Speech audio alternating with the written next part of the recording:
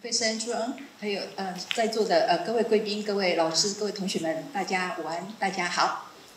很高兴呢，呃，我们有这个机会呢，可以邀请到 Stanford University EECS 客座教授，同时也是 Deep Learning 的 AI 还有 Coursera 的这个共同创办人，呃，Professor Andrew 呢，来跟我们分享这个 Opportunities in AI。那我在想，有一些演讲者呢，我们要花很大的精力去介绍，可是有些不用。那今天的我们的演讲者呢，就是属于这种大家耳熟能详、不用介绍就知道的这个 AI 大神。那这个这几天呢，我们看各个各报章杂志呢，都有很多的，就是在就是在报道，就是呃，Professor。呃，这个这个 Andrew 呢，他不管是在呃呃跟跟数位部部长，不管是在很多的场合，都有很多相关的对这个 AI 的这个相关的分享。我想大家都知道，他是 AI 的这个呃，他是 AI 的先驱、教育者，还有倡议者。他的这个 Google Brain 呢，大家耳熟能详。那他。他的研究还有他很多的这个整个教育格局呢，都深深的影响到了全世界。那他呢所开创出来这个 Coursera 也提供了一个很好的 learning 的 online 的平台，让大家可以用最最第一手的这个这个这个机会呢，学习到不管是 deep learning 还是这个 machine learning 相关的这个知识。那他今天呢非常呃这个呃呃。呃，呃非常我们非常的荣幸，请到他来跟我们分享这个 AI 相关的这个呃整个趋势。那他会跟我们介绍，我们还我们有除了介绍 AI 的趋势之外，我们有哪些的这个机会？特别是这个整个这个 Chat 这个 GPT 的这个发展，对我们不管是在教育、经济、文化各个层面影响都很大。可是同时，它也带来的一些风险跟挑战。那所以，他今天会来跟我们分享相关的这些相关的这个发展。那哦，就不讲太多哈，我们要把这个时间留给他。那我就讲到这里哈，那就谢谢大家，谢谢。Thank you, 副校长，副校长。Thank you everyone for um, joining me here today and for permitting me to speak with all of you. Um, I've been looking forward to visiting Taiwan for quite some time. We all know that the whole world counts on Taiwan for a lot of hardware, semiconductor, server manufacturing, and so on. Um, and I think that there are a lot of opportunities here in Taiwan for there to be uh, AI and software to be done, work, work, to be done as well. So what I hope to do today is um, share with you what I think are some exciting global opportunities in AI and also touch on some things that um, I hope maybe some of you or maybe collaboration opportunities in the future may allow us to pursue here in Taiwan. So um, I've been saying for a few years now that AI is the new electricity. And I've been saying that because one of the tricky things to understand about AI is, is a general purpose technology. Um, and in fact, if, if I was to ask you, what is electricity good for? It's almost hard to answer that because electricity is another general purpose technology that's useful for so many things, it's almost difficult to name one or two things. And this is why when we ask what is AI good for, it's almost hard to answer that because it's useful for so many different things. Um, and just like electricity revolutionized the world starting about 100 years ago, AI is now increasingly doing the same. So I'd like to start off with a description of the technology landscape, and then this will lead into a discussion of some of the opportunities ahead of all of us. There's a lot of buzz and excitement about AI, and I think a good way to think about AI is as a collection of tools. So for example, one tool that has worked quite well for 10, 15 years now is supervised learning, which is good at labeling things. And then there's a new entrant, generative AI. Um, and if you study AI, you may have heard of other tools as well. But for today's presentation, I want to focus on what I think are the two most important tools, which are supervised learning, good at labeling things, as well as generative AI. Um, so supervised learning is technology that given an input, lets us label it with an output. So given an input A, label it with an output B. And this started to work really well 10, 15 years ago with the rise of deep learning. And for example, given an email, we label it with is this spam or not, the spam filtering. The most lucrative application of this that I've worked on, not the most inspiring, but very lucrative, was uh, online advertising where given an ad, we can label if this is an ad are more likely to click. And for a single company like Google, this drives more than 100 billion US dollars a year in, in incremental ad revenue.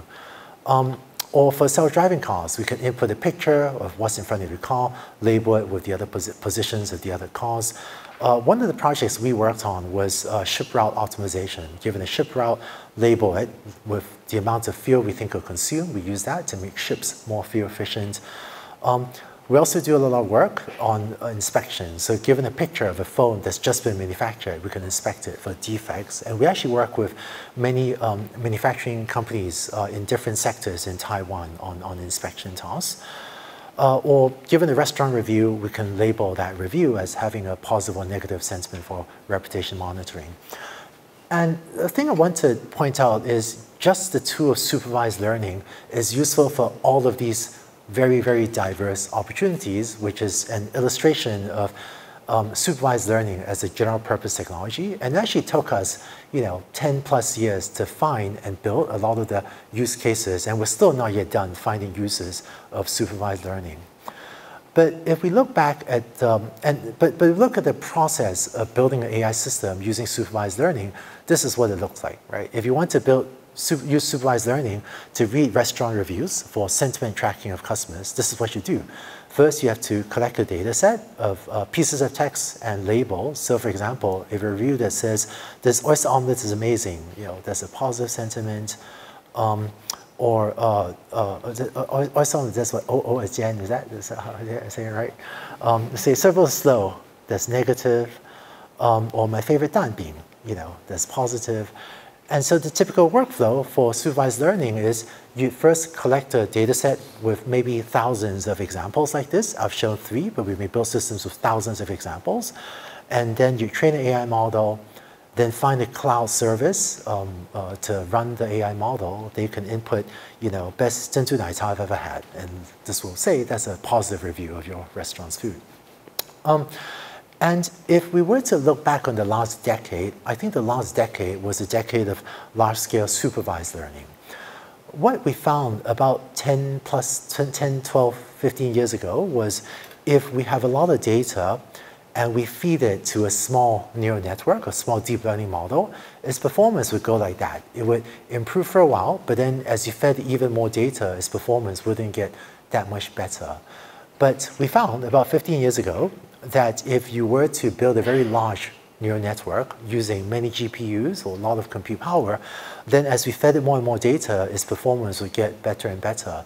So this is why when I was when I started uh, and was leading the Google Brain team, the primary mission that I set for the team in the early days was I said, hey, let's just build really, really large neural networks using Google's compute resources. And fortunately, that recipe worked. And having more data, more compute, um, drove and continues to drive a lot of AI progress. Uh, uh, and, and, so this recipe still works, but this, this recipe really drove a lot of progress in the last decade. Um, I think this scaling also set us up for generative AI.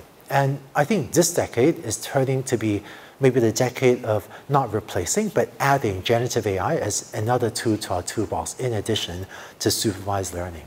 So hopefully many of you will have used tools like ChatGPT or Bing Chat or Bard, um, but with generative AI, you can input a prompt, um, like I love eating, and then if you run it once, maybe it'll say mango shaved ice or mom's a lu rou fan um, or tou doufu, um, and, and that's the AI output. Now, um, I know that you know this, this, seems uh, when when many people tried uh, this type of text generation process, it seemed almost magical, right? But I want to take just half a slide to explain the core of how generative AI works um, to demystify what it does. And it turns out that the core of generative AI is actually supervised learning, um, and specifically. Generative AI is built by using supervised learning to repeatedly predict the next word. So for example, if um, a large AI system has read on the internet a sentence like, my favorite food is tomato scrambled eggs, 番茄炒蛋, right? Um, then this is turned into a number of data points, training examples for supervised learning to learn to predict the next word. For example, in this um, sentence, if it sees my favorite food is and is asked to predict what's the next word, the right answer is tomato. Or if it sees my favorite food is tomato, the next word should predict a scrambled, and so on. If it was scrambled, next word is A. And if you train a very large AI model a very large transformer network on a lot of data, hundreds of billions of words, or in some cases, more than a trillion words, then you get a large language model like ChatGPT.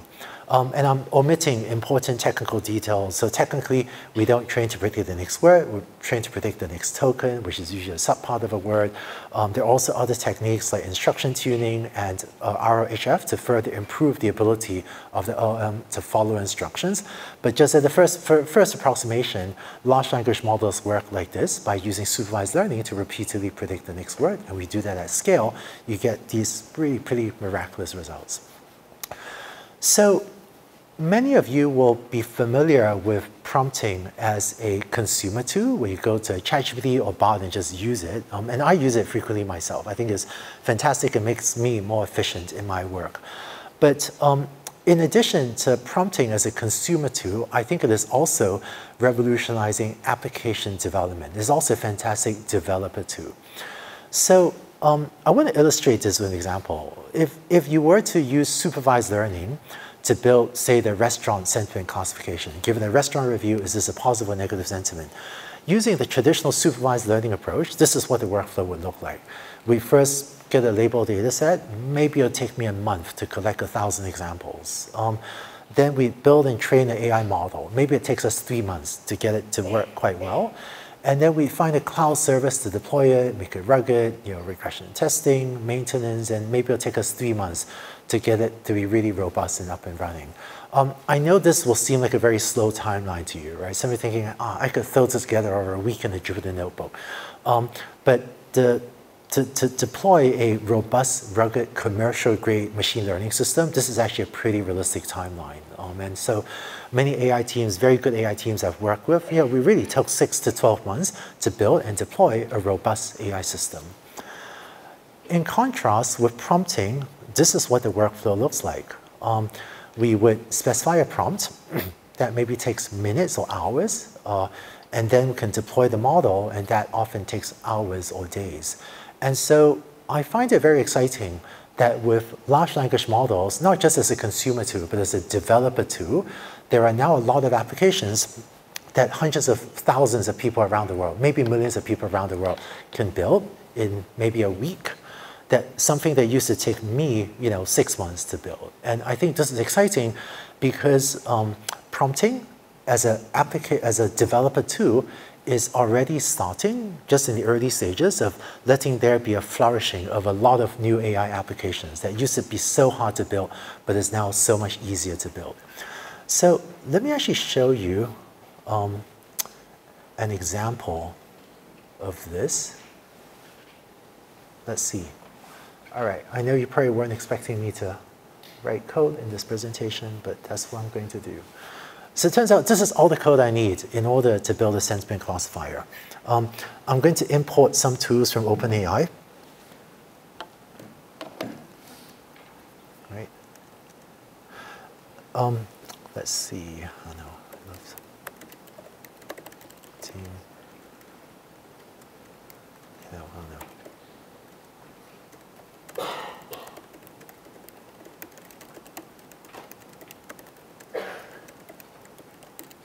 Whatever. Oh, and so just to point out, the prompt is classify the text below, delimited by three dashes as having either a positive or negative sentiment, right? Something like that.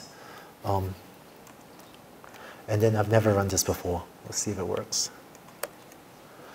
Right. Oh, and we're on. Okay, good. Thank goodness that worked. Right. And so this says this is a positive sentiment. Um, but this is literally all the code it takes. Oh, sorry, scrolled off the bottom. There. All right. There, right, pauses and all right. um, and this is literally all the code it takes someone to write to build a sentiment classifier. Um, and so, uh, and so this is um, leading to flourishing a lot of new AI applications that, that a lot of people can therefore now build much more easily.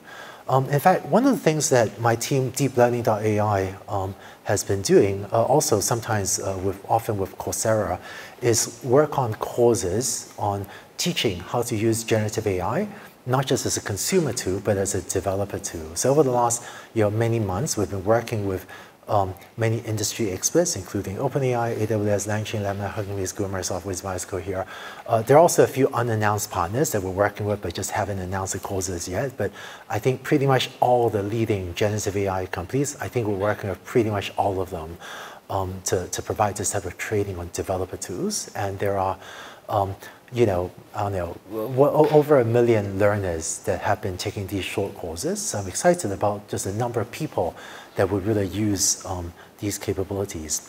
And also, one of the reasons I've been meaning to visit Taiwan for some time is because, not sure if, if y'all know, but uh, the Deep Learning.ai engineering team is actually here in Taiwan. So actually, Joe Chen is here in the audience as well. He's the head of engineering for, do you raise your hand, Joe? Well, Joe's in here. So he's head of engineering for um, Deep Learning.ai, but we have our software engineering team is all here and, and actually built this global platform that's serving, you know, frankly, learners all around the world. So I'm, I'm quite proud that, that our team in Taiwan um, built this global platform that many, many learners are counting on to learn about these skills. And because we have a team in Taiwan, I think uh, hopefully that sets us up for you know, future interactions and collaborations and, and hopefully gives me more of an excuse to visit Taiwan more often as well. Now, um, so hopefully for, with, that, talk about supervised learning technology and generative AI technology and generative AI as a developer tool. I'd like to share a little bit about how I see the set of AI opportunities ahead of all of us. Um, so this shows what I think is the value in terms of, say, revenue generated from, from customers of different AI technologies today um, and what it will grow into, the expanded circles, what it will grow into three years from now. Right? So on the left, the large green circle is supervised learning. Uh, for a company like Google, worth more than $100 billion US dollars a year in revenue, and there are millions of developers working on supervised learning. So I think it will, you know, plausibly double in three years and go from huge to even bigger. So a lot of momentum in supervised learning because for the last decade, we've had so many people working on it and there are just millions of developers working on supervised learning. Uh, generative AI is a new entrant and people will be surprised how small I drew the circle. Um, I think generative AI is very exciting, but because it's a general purpose technology, realistically, it's going to take us a long time, more than I wish. It's going to take us time to identify and build many of the concrete use cases. There are already some very valuable use cases. So the ChatGPT, Bard, Midjourney, you know, character AI, uh, uh, but there are already some really valuable use cases, but there will be a lot more over the next decade that we'll be figuring out and building. And so even though I drew generative AI's value, uh, financial value, say, from, from customer usage is pretty small from now, I think it will much more than double in the next three years.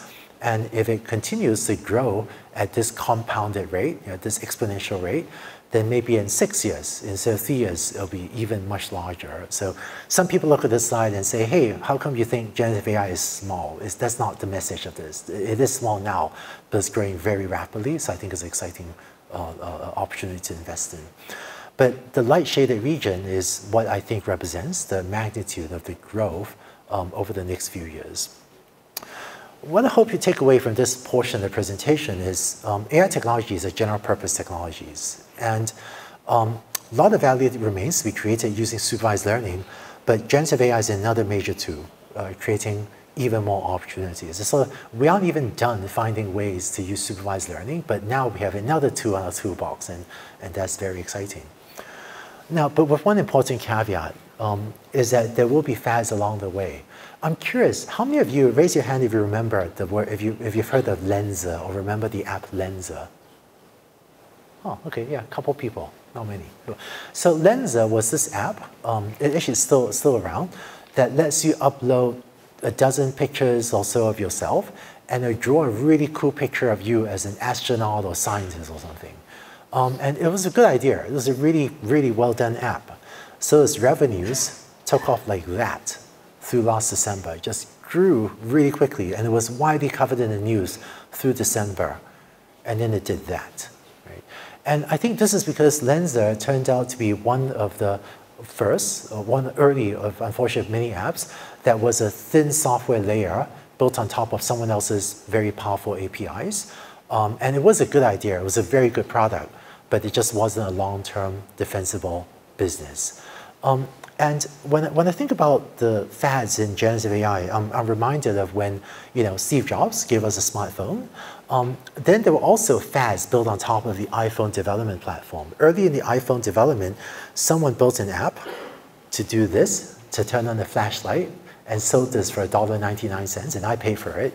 But clearly, this was not, this, this wound up being not a long-term defensible business as well, even though it was also a good idea to turn on the flashlight on the phone. But just as with the phone, um, some others figured out how to build Uber and Airbnb and Tinder, those really valuable, really long-term valuable applications that created value for a lot of people. With the new generative AI platform as a developer platform, there will be opportunities to build really exciting applications that creates long-term value, and that's what I'm excited about. Um, so first trend, generative AI is a general purpose technology with a lot of use cases to be figured out. And AI is a general purpose technology, I say. There's a second trend I want to touch on, which relates to why AI isn't more widely adopted yet. Um, and this is just a customization of the long tail problem. So uh, and, and, I want to tell because it feels like we've been talking about, many of us have been talking about AI for 15, 20 years now, right? But, but a lot of the value of AI is still concentrated in tech companies or consumer internet and tech companies. This is why I think it's been like that. If you were to take all current and potential AI projects and sort them in decreasing order of value, you get a curve that looks like this, where to the left are the really valuable AI projects like building a single ad system for a company like Google um, or building a better web search engine. And in consumer software internet, um, about 15 years ago, my friends and I figured out a recipe where we can say hire 100 engineers, have 100 engineers build one AI system that serves a billion users and generates massive financial value. So we know how to do that. This was and still is valuable. People are still doing this. But the problem with this recipe is once you go outside the consumer software internet sector, once you go outside tech companies, almost no one has 100 million or a billion users that you can apply one AI system to.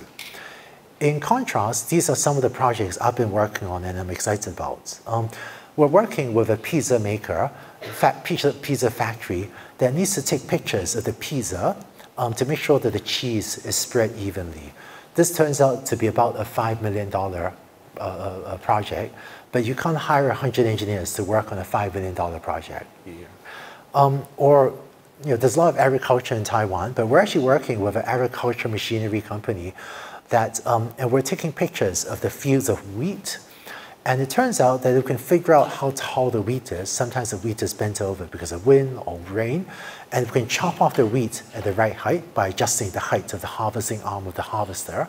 Then we get more wheat uh, for the farmer to sell, so it's more money for the farmer. It's actually better for the environment. But this is another $5 million project, and you just can't hire dozens or like 100 engineers to work on a project like this. Um, and then also, in, in, actually in Taiwan, we actually have uh, partners and customers that do a lot of material grading, um, you know, metal grading, cloth grading, um, and, and I see a lot of these, let's call them $5 million projects.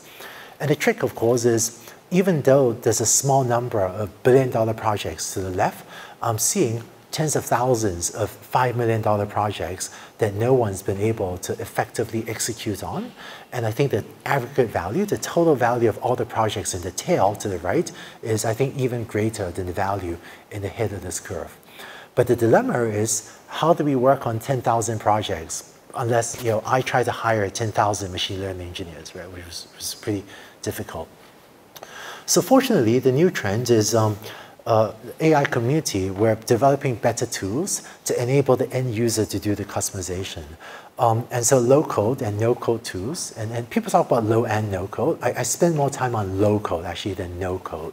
Um, uh, but I think low code tools and to a less extent no code tools are increasingly letting the end user customize the AI system. So what this means, for example, is um, we now have tools that lets the IT departments of the pizza factory use their own pictures of pizzas to build their own custom AI system and realize this $5 billion of value without me needing to be the one to go and you know, work on this pizza application myself. And these tools um, allow the users to either prompt a system uh, or provide data using a technology that we call data-centric AI. And this is enabling a lot more custom AI systems to be built without, with, with, without, you know, without needing to, to write a lot of code in TensorFlow and PyTorch, which is just more difficult. Um, and I think this recipe is important because this seems to me key to take a lot of the value of AI and move it from just concentrated in the tech companies, internet sector, to all other industries, which tend to have these many, many, but much more diverse and fragmented examples. So look in the future, um, I'm excited to see AI's value go from tech to all industries. So given these two trends, first, AI is a general purpose technology with a lot of applications to be built. And second, AI making its way from valuable mainly in tech to valuable in all industries. Um, what, where, where, where, where, does that leave us? The puzzle I wanted to solve about five years ago was I felt that many valuable AI projects um, were possible because of supervised learning, and this is even more true now with generative AI. And the puzzle I wanted to solve was um, how do we get all of these different projects done? So I felt five years ago that starting new companies uh, would be an efficient way to do this uh, because um, even though I had led AI teams in large tech companies like Google and Baidu, I couldn't imagine how I could lead a team in a big internet company to go after as diverse a set of opportunities as I felt you know, I wanted to pursue. And so I think starting new companies is an efficient way to do this. And of course, there are also many opportunities for incumbent companies uh, to find ways to integrate AI into the existing businesses. And in fact, I know that uh, it's been interesting. I had, I, I had uh, lunch with um, many uh, uh, uh Taida professors just now. It was actually really exciting to see the number of collaborations, either with startups or with big companies like NVIDIA and others, um, to facilitate this type of uh, idea generation and back and forth you know, opportunity growth. But just to be concrete about these opportunities, um, this is what I think of as the AI stack, right? So at the lowest level is the uh, hardware or maybe the semiconductor layer. And I know Jensen Huang and Lisa Su were both in town uh, uh, fairly recently. And I think that the hardware layer is very capital intensive, very concentrated, right? So TSMC, you know, UMC, uh, NVIDIA, Intel, AMD, I think these are fantastic you know, businesses, uh, but I don't personally try to start companies here because it's so capital intensive and so concentrated. Uh, but I'm, I'm, I'm actually excited about the uh, uh hardware roadmap of uh, not just NVIDIA, but I find that AMD's MI250, MI300 is actually getting really good. So my teams actually use, uh, I know a lot of buzz on, on, on NVIDIA, and uh, but, but, as I say, I, I, think ROCm is getting quite usable as well, surprisingly. Um, so, but so, but so this, this is very valuable, but in terms of starting new companies, I don't personally play there myself. Um, a second key part of the AI stack is the software infrastructure, clouds. Again, great opportunities here, uh, but it's also very capital intensive, meaning it needs, needs a lot of resources to build very concentrated, meaning there are relatively few winners, so I don't really try to build companies here as well. Um, one the exciting sector is developer tools. So what I showed you, the way I was using OpenAI API just now with the coding example, that was using OpenAI as a developer tool. And I view developer tools as hyper competitive. You look at all the startups chasing OpenAI, but um, my team does build developer tools when we think we have a significant technology advantage. Because I think even though it's hyper competitive, developer tools, there will be some huge hugely impactful businesses to be built. And when we have a significant technology advantage, we've invented a unique technology, I think that gives us a shot at building one of the businesses, one of the companies that could be one of the huge ones. So we play here carefully, uh, only when we're technology advantage. And then lastly, whenever there's a new wave of technology, a lot of the media attention tends to be on the infra tooling, you know, the infrastructure layer. Um, and we see this with generative AI as well. A lot of the media attention is on this layer. But it turns out that for these types of businesses to be successful, there's one other layer that needs to be even more successful, um, and that's the application layer. Because for the tools to be successful, the applications built on top have to be even more successful so they can generate the revenue to pay the tooling companies. So I actually spend a lot of my time working on different applications. Um, so for example, last few days I've been um, uh, sending messages with the CEO of Almarai, uh, some, some announcement coming out at some point. Um, but uh, Almarai is an interesting case study because we're working on AI applied to romantic relationship coaching, right? And you know, I'm an AI guy. I feel like I don't know anything about romance. And if you don't believe me, you can check with my wife, and she will confirm that I know nothing about romance. Um, but we're able to uh, work on this because when, when my team AI Fund, um, oh, so, so I started AI Fund to build new companies to, to do this, but when my team AI Fund decided uh, we wanted to um, do something in AI applied to romance, we wound up partnering with uh, the former CEO of Tinder. Her name is Renate Nyborg. And Renate knows much more than anyone else I know in a systematic way about relationships.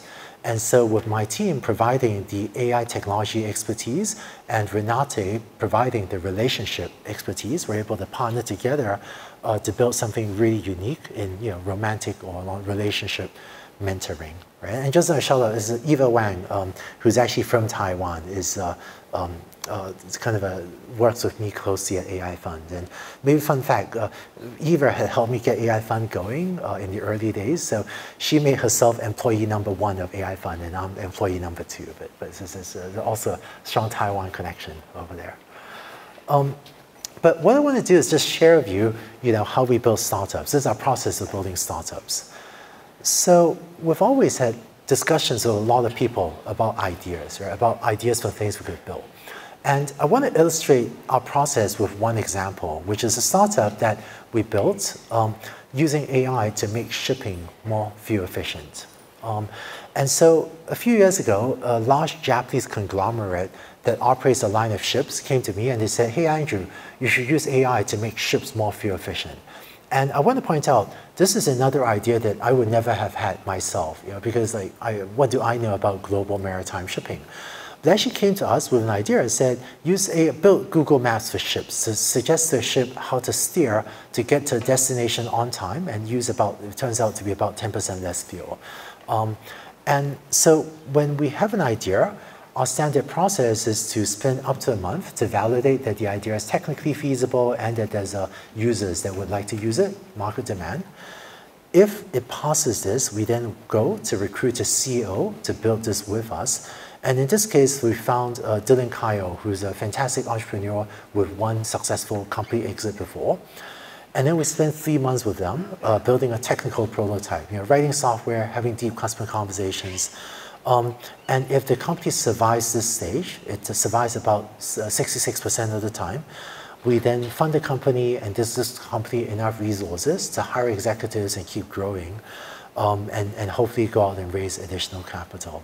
And so thanks to us, thanks to Mitsui suggesting this idea to us and us working with Dylan to build this, today there are hundreds of ships, many hundreds of ships on the high seas, large vessels um, that are being steered by Bearing AI they use about 10% less fuel. And this turns out to be about half a million US dollars in fuel savings per ship per year, um, as well as reduced carbon emissions.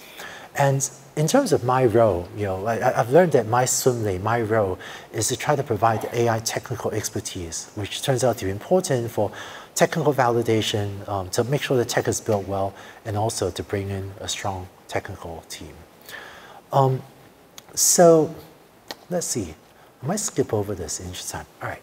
So I've talked a lot about uh, building, you know, the process of using AI technology to build different AI projects and different AI businesses. Um, I want to switch tracks a little bit and talk a little bit about technology trends as well. And um, I want to share with you some, some work that my team Landing AI has been doing on computer vision. Um, specifically on the trend of vision prompting, because we've already seen uh, the text processing revolution here through large language models.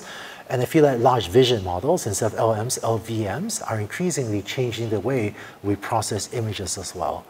uh, before I talk about the technology, I just want to mention, you know, so Landing AI, because of manufacturing, we work with many customers in Taiwan. Many of them I cannot talk about because of just confidentiality. But I'm going to share one fun project. So this is uh, Professor Yi Yang from National uh, Cheng Kung University. That this is one of those projects I would never have thought of doing this myself, right? But this is a project which um, has a cloud chamber. So there's a cloud chamber down there yeah, with, with lots of fog. And um, uh, uh, Professor Yang's group was using our computer vision software.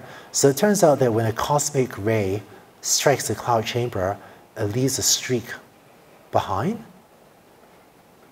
And uh, they use you know, our computer vision software in order to detect these streaks that indicate that the cosmic ray just came from outer space through Earth and struck this this, this chamber, this cloud chamber, leaving a, a, a condens condensation trail uh, in, in the cloud chamber. And, and, and so I just highlight this because this is running you know, here in Tainan right now.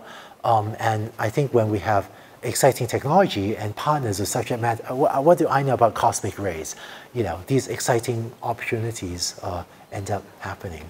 And I was kind of bummed I don't have an opportunity from Taida to show. Maybe hopefully next time with collaborations, I'd love to show collaboration with Taida. Um, but I want to share with you what's, what's happening uh, in, in vision, which is text prompting has transformed text, sorry, prompting has transformed text processing. And I think visual prompting takes the idea of prompting from text to vision. So let me just show you, let me just go ahead and show you a demo of this. Um, let's see.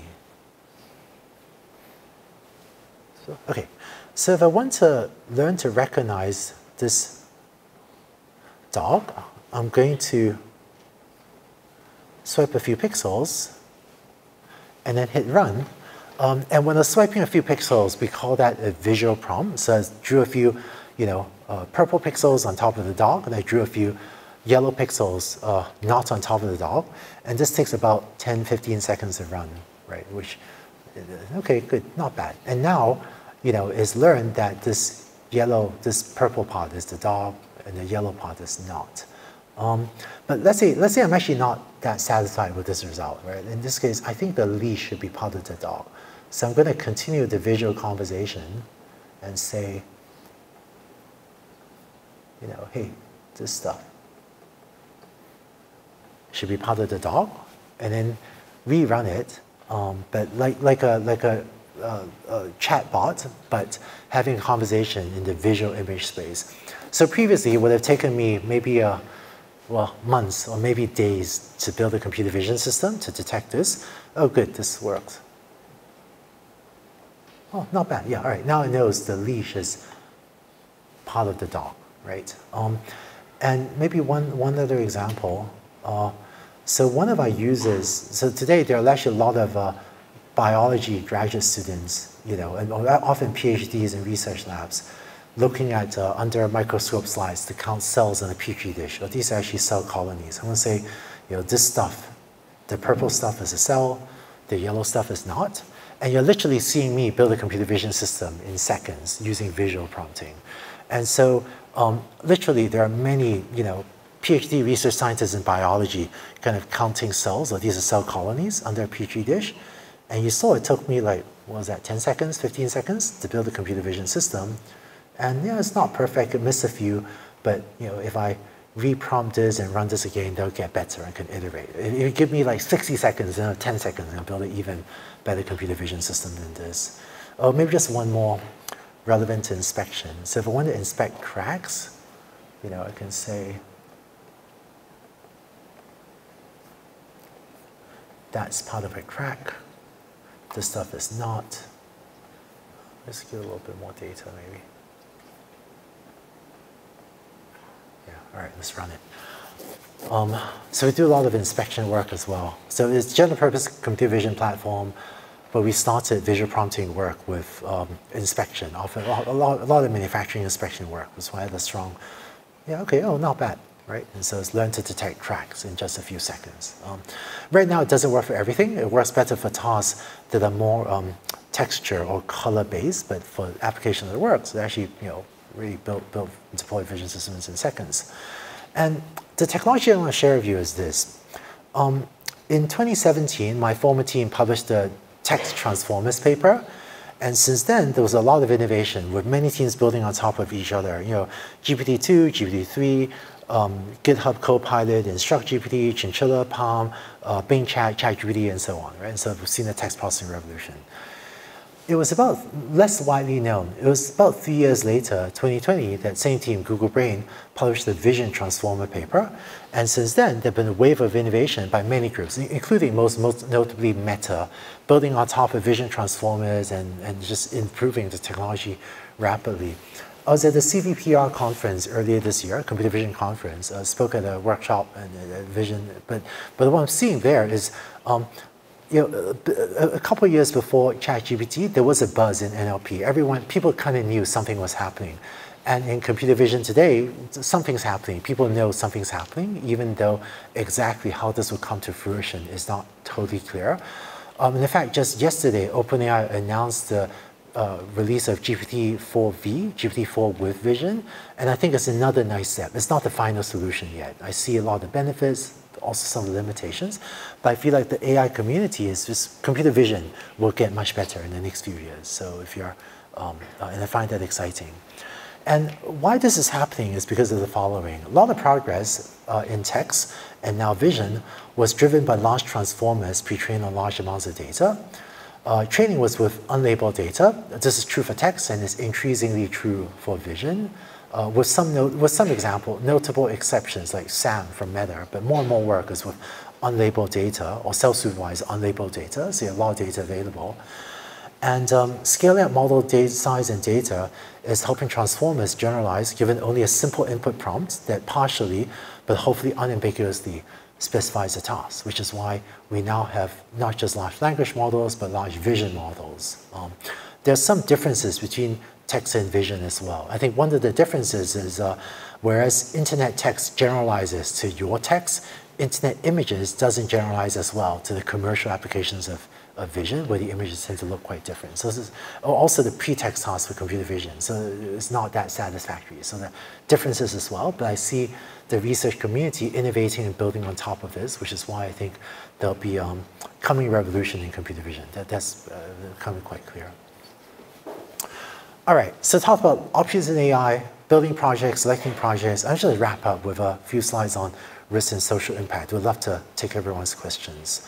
Um, you know, so my teams only work on projects that we think move humanity forward, and, and just, just for it's kind of we do and we have multiple times and we continue to co-projects that we assess to be financially sound but on based on ethical grounds. I think with AI it's a very powerful tool, it's important that we all um, well, let, us all only work on things that we consider responsible and beneficial for people.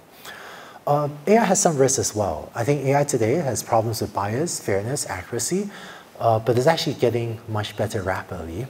And I think the biggest realistic risk is it will disrupt many occupations. Um, this is a chart from a study uh, done by some friends at U University of Pennsylvania as well as OpenAI that showed the exposure of different jobs to automation by AI. And unlike earlier ways of automation where the lower wage jobs were more impacted, today this is wage on the horizontal axis. The higher wage jobs on the right have a higher degree of exposure to AI. But so um, I think that AI will create a lot more jobs than it destroys. And I think in many cases, people that use AI will replace people that don't use AI. So many jobs are staying, but there will be jobs that will be affected. And I think um, uh, with a you know, responsibility to make sure people are well taken care of, uh, even as we build AI technology that creates a lot of value. Um, and then lastly, then the last slide, I feel like a lot of hype about AGI, artificial general intelligence. The most widely accepted definition of AGI is AI that can do any intellectual task that a human can do.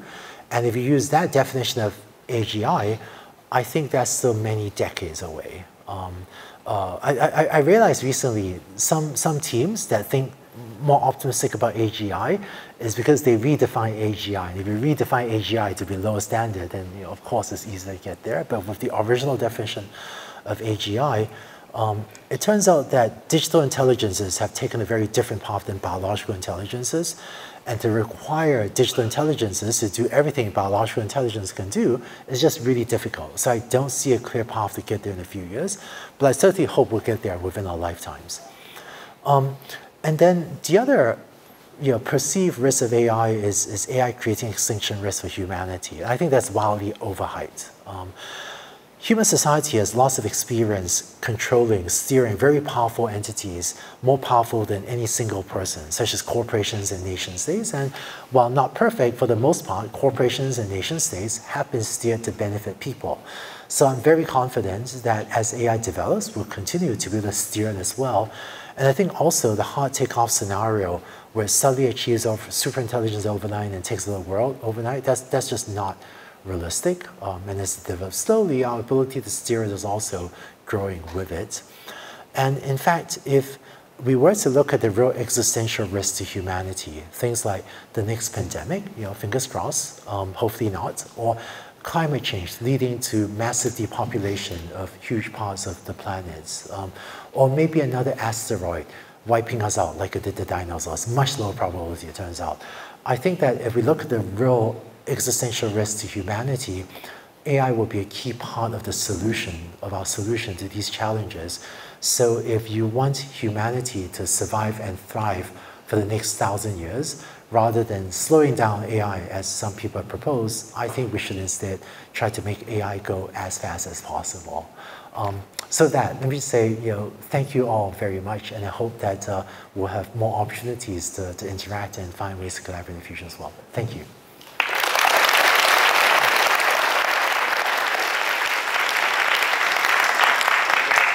Okay, uh, thank you very much for Dr. Andrew's very informative and insightful talk. And now it's time for question and answer. Uh, if you want to raise any question, please raise your hand. Okay, here, the first one.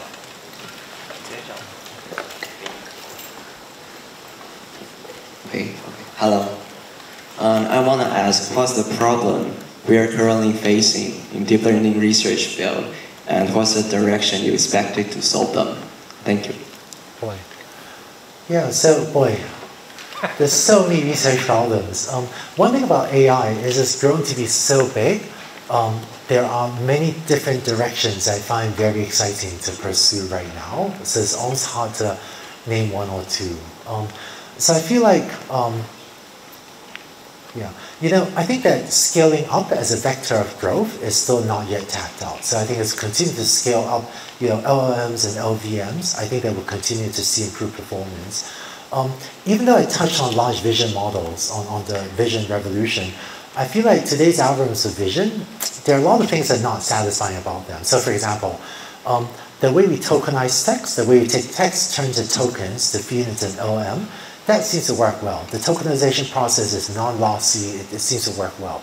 The way we tokenize images, the way we take an image, cut to patches, run you know kind of um, uh, some sort of clustering things, it, it, feels very unsatisfying. And the way uh, the way we train um, LMs and L is we make up a supervised learning task by predicting the next token or predicting the next word. But the way we make up a task called a pretext task of vision, where we hide some patches to predict other patches, it feels not very satisfying. So a lot of vision researchers are trying to figure out, you know, different ways to train uh, uh, uh, vision transformers. I find that quite exciting. Um, another direction I find exciting is uh, I think that I've been talking about data-centric AI for, for, for a couple of years, and it's been interesting. So data-centric AI is the discipline of engineering the data to build a successful AI system where we all like to download the data set and you know hold the data set, fix and tune the model. But a lot of the times, in practical applications, it's more fruitful to hold the model fixed and just tune the data. Um, and in fact, with large pre-trained models, the data set sizes we need are smaller than ever. So with you know 10 data points or 10 examples, plus a large pre-trained model, of a visual prompting, you saw me build things with like two images right? But what are the user interfaces, the principles, and the tools, the engineer the data? I see a lot of um, uh, excitement on that. Oh, I was actually tracking on Google Scholars the number of research papers on data-centric AI, and it's still kind of on that rapid exponential looking takeoff for just the past couple of years. So that's another um, exciting set of applications. Um, I don't know, yeah, it, it, feels like, sorry, it feels, it feels like this is a lot to do. I, I think, by the way, if, if, I, if I you know, didn't already have a full-time job and I could just go spend years to do research on whatever I felt like doing, I probably wouldn't spend a lot of time on unsupervised learning research. Actually, I, I, I wish I had more time to do research there myself. I find that whole sector, um, unsupervised learning on a lot of unlabeled data, uh, and, and how that relates to how biological intelligence works. I, I would actually love to, if I had more time, I would do more research on that myself.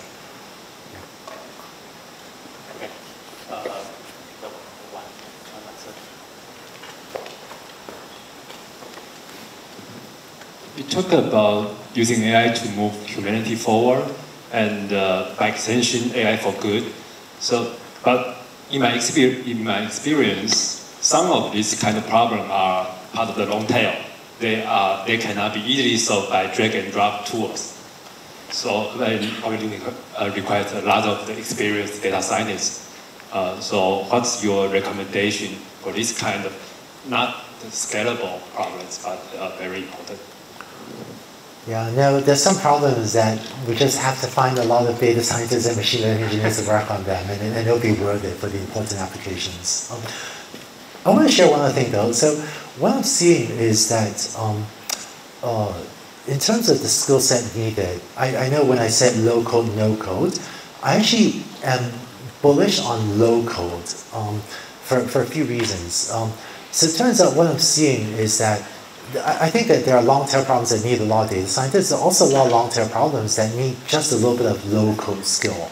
And what I'm seeing is, um, uh, it turns out, you know, people, I think that we're moving toward this fantastic future. We can tell a, you know, Midjourney what image you want, or tell ChatGPT or bot what text you want, and it just does it for you. I think that's fantastic.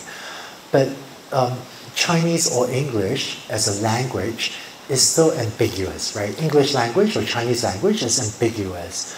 So one of the reasons I, I, I encourage, you know, frankly, everyone to learn to code is because um, if you write Python code or whatever language, that's very unambiguous. So when you write Python code, you get the same result every time, right? Within reason. I know you don't always, but kind of, kind of do.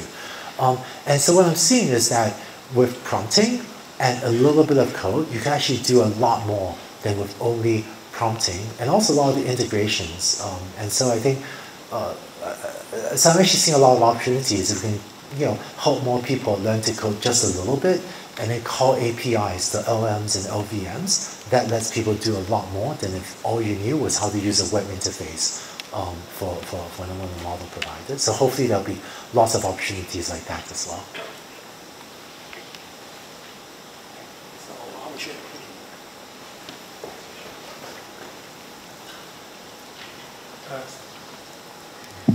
Thank you for the insightful talk. And um, you talk about a lot about super, uh, um, distinguishing between supervised learning and uh, generative learning. And one thing that um, people possibly may hesitate to use generative learning is because we know it's less uh, making it hard to, for example, evaluate its true performance. Okay, um, in the best cases, we see very exciting results, but compared with supervised learning, um, in many cases, we don't know how to do proper evaluation. And I'm hoping to hear your opinion about this and how we could counter uh, this difficulty. Thank you. Yeah, thanks for that question. It's a great question. Yeah, there's one very interesting trend I'm seeing with um, generative AI. So if you take the restaurant review example, if I were to use supervised learning, I may collect a thousand training examples, and then if I'm collecting a thousand training examples, let's hold out a hundred examples to evaluation. So you train, evaluate, know how it works. Um, with prompting, you know, I got that, you, you saw me how I would build a system with zero training examples, right? Or, or sometimes you could do a few-shot prompting with maybe five or 10 training examples, which works a little bit better. And it turns out that when, um, it, when you can get something to work with zero or maybe 10 examples, you kind of can't be bothered to go and collect 100 examples just for evaluation. So what I'm seeing is um, this methodology where previously when doing supervised learning it was so hard to build a system we would you know really make sure we're building the right thing, have a product manager, and make sure there's customer demand, then spend six months, then we ship it. But with generative AI, you can build things so quickly. I see teams in Silicon Valley use the design methodology of let's just build 10 things, let's ship them all and then see what happens. And you do evaluate and you ship it before evaluating. Uh, with one important caveat, which is obviously we should do this only if the systems we deploy don't have significant risk of harm, uh, because you ship a system, has some bias or inaccuracies that causes harm, that, that, that's bad. And should, with, with systems with those risks, we do have to collect a test data set and evaluate it before we let out into the wild. But um, in, uh, in, in, visual prompting, if we're inspecting things in the factory and there's even a human backup, there's really not much risk of harm if there's a human backup. So we just ship it and then run it for a few days or run it for a few hours, and only if it's working in, in production, you know, then we let it go to the next layer of automation. Um, but I, I, think the evaluation, it, it is a problem, but there's a problem that we can build these things so fast that people can't be bothered to collect a test set uh, sometimes. And then I see also very interesting methodologies being applied. Uh, one of them, um, we, we, we go over this in, we go over some examples of this in one of the short courses that um, uh, OpenAI's Isa Fulford the night teach on uh, using ChatGPT, where we often use an LM to evaluate an LM's output. So we actually, one of the methodologies we use is if an LM outputs a piece of text, we actually prompt an LM to help us judge if this piece of text is a correct summary or chatbot output or something and start to gather statistics. So I think the evaluation sector, actually this to the earlier question, this is actually another, maybe another good research question, but how do we find systematic ways to evaluate um, output in, in, in, a way that's practical? Um, oh, my friend Percy Liang at Stanford, you know, he's done really nice work on HELM, um, holistic evaluation. So it's like a hundred, she wrote a 150 page research paper on this. Really, really um, in-depth evaluation. Uh, and then I think also in, in, in uh, practice in industry, the way that people evaluate is, you know, has, has other ways as well. So the study and to bridge that gap between academia and practice, I think that, that that's maybe another exciting research topic. Thank you.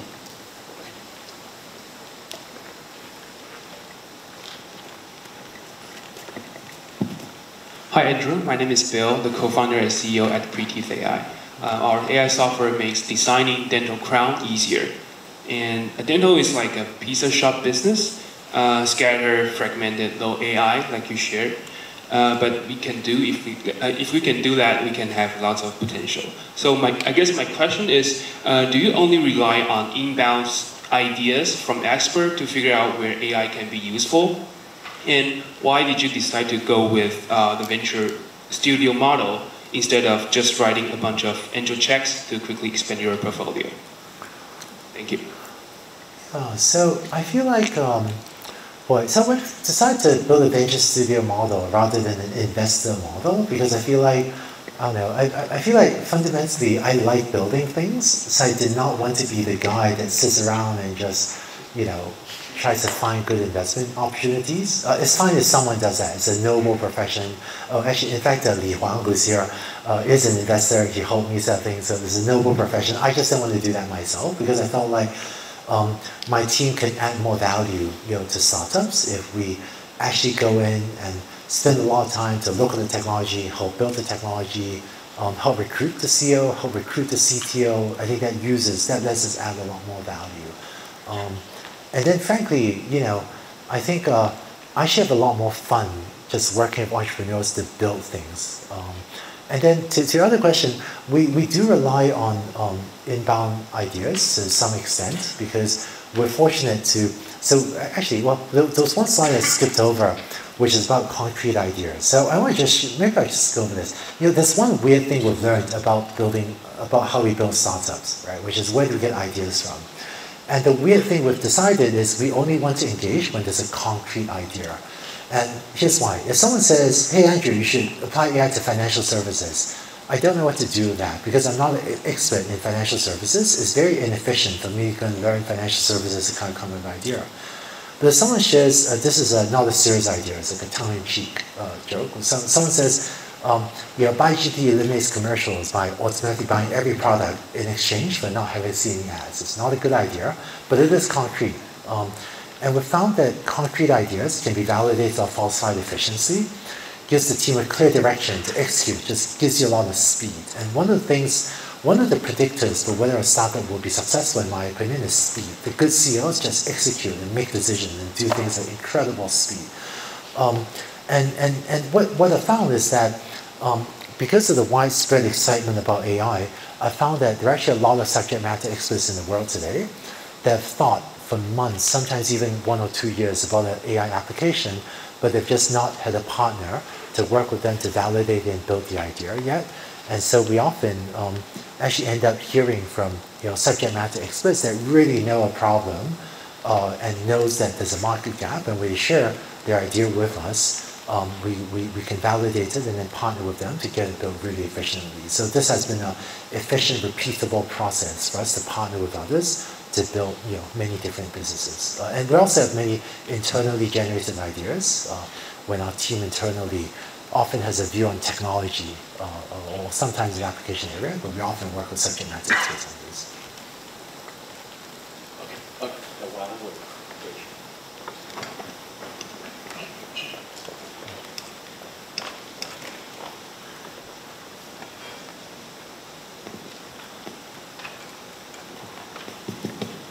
Thanks for the inspiring talk. Um, I'm wondering, um, it seems like the recent is of large model in deep learning depends a lot on the unlimited data you can get from the internet, like text and image, right? So I wonder how this set can propagate to some modality that you have very few data, like motions. So I work on robot learning and reinforcement learning, so it kind of sad to see like the tiny dot on the landscape slide. But yeah, I'm just wondering how you can um, have the set in this kind of modality, like motions. So what you say motions? Yeah, like human motions, like how you can control robot and to do things. But we just don't have this like um, commercialized device to capture human motion in general. Yeah, yeah. So I feel like um, uh, when I think very loosely about what information an AI system has, I think there are a few sources of information. Um, in the case of um, LLMs and LVMs with prompting, it's really a lot of information learned off the internet with a little bit of information specific to your application. So, um, uh, and then if you have only a little bit of information specific to your application, there's one other source of data, which is you know kind of hand-coded rules or engineered sources of knowledge, right? And I think when you have small amounts of data, you can get machine learning systems to work, but you're more likely to end up having to spend more time doing feature engineering or kind of tuning the algorithm or tuning the architecture. And part of the magic of the LLM and LVM revolution is we have so much data, so much general data off the internet that could have a very general purpose, you know, transformer neural network architecture, just learn from a lot of data and gain all sorts of patterns about language or images or whatever. But when you have only a small amount of data, then you know the other source of knowledge is you're hand engineering your knowledge into the system. And then if you do that, which is more time consuming, you also do get systems to, to work. Um, and maybe, despite all the excitement about um, generative AI, it does have one other major limitation, which is it's really working only for unstructured data, specifically text, um, images, audio, maybe video, because these are the types of data where we have you know, huge amounts of data off the internet to learn from. In contrast, uh, not just motion data, but a lot of the world's data is structured data, meaning tabular data, like a spreadsheet. So if I have a spreadsheet that tells me about you know, arrival times and departure time of trucks or something, that's structured data. That's often a very unique data set, and I don't know what, and it turns out if I learn from some other company's logistics data, you know, like ships sailing around, that's not useful for my logistic data of my trucks driving around Taiwan. And so uh, this is why Gen AI isn't everything. For a lot of the structured data applications, the best tool today is still supervised learning because you don't have that general sources of data to learn from that's still useful for your specific application. Yeah. So, uh, oh, up there? Oh, cool, awesome. Yes, I see you. Okay. Upstairs. Hi, Andrew. I'm uh, in NTU AI Club and also founding Tokai, a startup in the note-taking industry. And uh, to have the opportunity to briefly meet you yesterday. And I found that the software engineering workflow has been massively transformed with uh, OpenAI API and LangChain, and it's just this uh, massive growing ecosystem of tools and apps. And I think it might have been Guido van Rossum that said that uh, in a recent interview with uh, Lex Fridman, that uh, the majority of his code is now written actually with generative AI. And so my, my question is, to what extent are large language models and prompt engineering and generative AI, to what extent are they going to replace conventional tools and platforms for engineers such as coding over the next five years, over the next 10 years, and maybe over the next 20 years? Thank you. Yeah, so, you know, I think that, uh, um, so early, uh, it turns out that programmers are among the, you know, one of the developers was one of the core groups of early adopters of these types of generative AI tools, which is why many generative AI tools today, they're actually pretty good for coding. And I think, um, uh, actually GPT-4, I, I, I, find works better for coding than, than 3.5. And Bard also has been doing nice things on coding. Um, there's something very interesting going on in how software is written. And I don't mean just GitHub Copilot, which is fantastic too, but I think GitHub Copilot has been very good at generating coding templates. But when I look at how some of my friends that work in some of the Gen AI companies code, you know, even the way I, uh, you know, the way I write code these days is very different than the way we used to do it one or two years ago. Um, uh, and I think that, uh, and I don't mean GitHub Copilot. I mean you know, I don't know, a few weeks ago, actually Joe and I were hacking on something for translation, right, using, using LMs. And uh, I needed to use an NLP library that I was not familiar with. And rather than, you know, look at the documentation, I prompted both Bard and GPT-4 to write code for me. And the code didn't work, but it just generated a template that I could then fix up and just got the job done much faster than, than um, then look at the documentation myself. So there's something very interesting happening on the workflow of developers uh, in how you know people are using LLMs to help write code and then fix it. And sometimes you prompt the LLM um, uh, uh, to help fix the bugs in his own code. Uh, but this workflow um, has actually not been documented systematically anywhere yet that I'm aware of. But I see my friends doing this, and I'm doing this myself. And we're, we're, we're, working with some partners to hopefully teach this more systematically um, uh, at some point that will announce very soon. Uh, but I think, I, I, think there's actually a one interesting change. Um, I don't think, in terms of job displacement, I don't think programmers' jobs are going to go away anytime soon. I know when GPT-4v was demoed with, you know, take a picture of a hand-drawn front end. I know some front end developers think, wow, will my job go away? But I think programming jobs will not go away for a long time. Uh, even if some of the tasks we do as programmers can be augmented or automated. Um, I think that, so actually, there's actually one, one, one other thing we've been doing, which is um, uh, when we work with large companies, we'll often go and look at the jobs people are doing and break the jobs down into tasks and look at what AI can automate by analyzing tasks rather than jobs. So it turns out when people think about, uh, uh, if you think about um, AI automation, if you say, what can AI do for programmers? People immediately think, oh, programmers write code, let's automate the writing of code, right? People, people just think that way. But it turns out that if you look at the tasks the programmer does, programmers do a lot of things. We write code, we debug code, we write documentation, we communicate with other stakeholders, align requirements, um, you know, this long list of tasks. There's a US government-funded website called O*NET that lists, I think, 17 tasks that programmers do, and some are easier to augment or automate than others. And so we've actually done this analysis with you know, many companies when, when we go in and analyze what are the tasks that people actually do, the tasks that are most valuable to augment or automate is, is actually frankly uh, usually not the most obvious one. Um, and because we do so many tasks, I, I, think it's very happy if generative AI can augment or automate a few of these tasks, but I think it's very hard for AI to automate everything we do, which is why I, I'm confident programming jobs are not going away anytime soon. Um, uh, but, but, but I think maybe programmers that use AI may replace programmers that don't use AI. Uh, and, and I think this will be true for a lot of different professions. Thank you. Okay. Uh, I'm also a business owner, so I'm asking about a business problem. Uh, I run a travel company for 10 years, so I'm pretty excited for your first part of your speech because you say we will become a data-centric AI. But I'm pretty worried at the end of your speech because you say only cooperate with the new company. So what will you give the suggestion for the established company, maybe about five to 10 years? We are not young enough, but we already have data.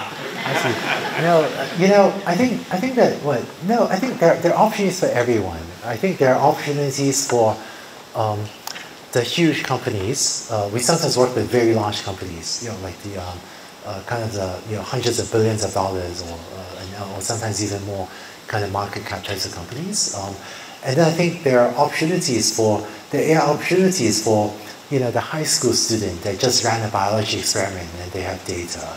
Uh, so I think everywhere from high school student all the way up to the, you know, hundreds of billions of dollars or the trillion dollar market cap companies, there are lots of opportunities to, to adopt and embrace AI.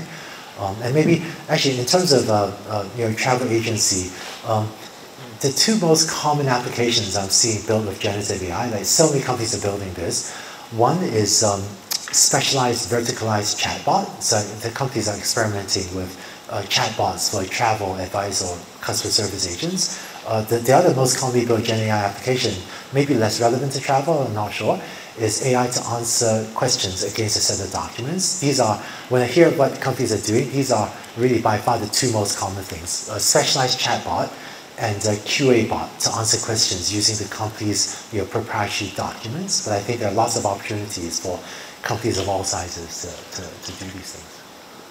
Yeah, due to time limitation, probably we take the last question. So anyone could raise? Okay, you are the first.